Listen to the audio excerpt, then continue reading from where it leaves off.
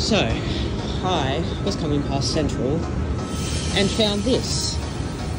What is this?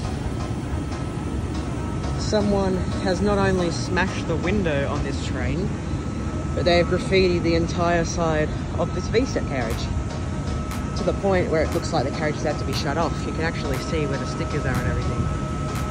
But uh, yeah, atrocious, I must say. I'm gonna guess this train's been taken to the depot to get it cleaned because this can't run in service. Quickly make before this one comes. Said it's V9. Even the front's a bit graffiti. That's terrible. Don't graffiti on the trains, guys. No point of it. Thanks for watching.